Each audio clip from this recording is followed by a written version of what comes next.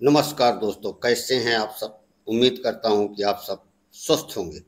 पहला सुख निरोगी काया वर्ण हैप्पीनेस हेल्थ बॉडी आज मैं फिर हाजिर हुआ हूँ आपके सामने नई जड़ी बूटी लेकर। आप इस जड़ी बूटी पौधे से परिचित होंगे, देखा होगा, पर शायद इस जड़ी बूटी के फ़ायदे नहीं जानते होंगे तो मैं आज बताऊँगा इसका नाम और इससे होने वाले फ़ायदे और इसके परहेज। तो अब आए हमारे साथ वीडियो में। इस जड़ी बूटी का नाम है दूधी घास। दूधी घास और यह बड़ी दूधी घास है। दूधी घास वैसे दो प्रकार की होती है। एक छोटी दूधी घास होती है, एक बड़ी दूधी घास होती है। तो ये बड़ी दूधी घास है और ये कौन कौन सी बीमारी में काम आती है तो हम आपको बता रहे हैं। कि ये कौन कौन सी बीमारी में काम आती है।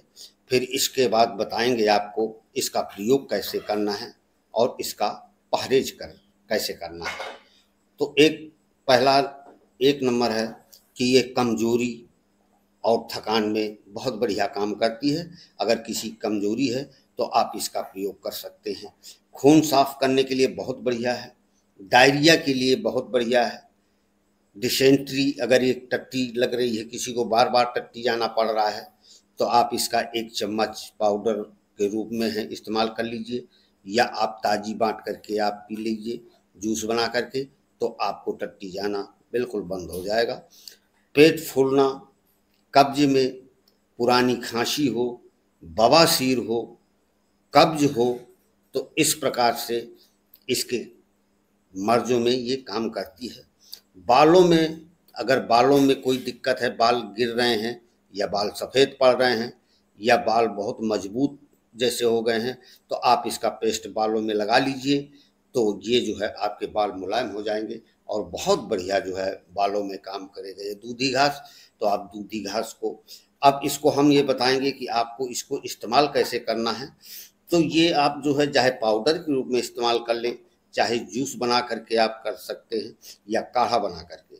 आप ताजी जो है दूध, दूधी घास ले आए चाहे छोटी दूधी घास मिले या बड़ी घास, इसको छाया में सुखा करके आप इसको ग्राइंडर में पीस करके आप इसको पाउडर के रूप में रख सकते हैं तो आप अच्छे से जार में रख लीजिए और जब भी ज़रूरत पड़े तो आप एक चम्मच आप इस्तेमाल करिए चाहे शहद में इस्तेमाल भी कर सकते हैं, या फिर आप इसको मिश्री के साथ भी इस्तेमाल कर सकते हैं।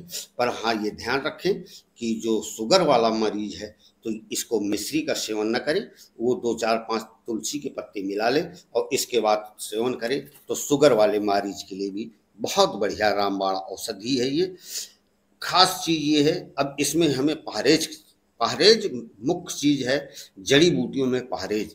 अगर आप परहेज नहीं कर पाते हैं तो फिर जड़ी बूटी का इस्तेमाल करने का कोई आपका फ़ायदा नहीं है।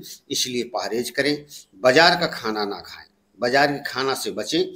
तली भुनी चीज़ें ना खाएँ। कोई तला हुआ है, ज़्यादा तेल मसाले वाली चीज़ें, इसका ना प्रयोग करें।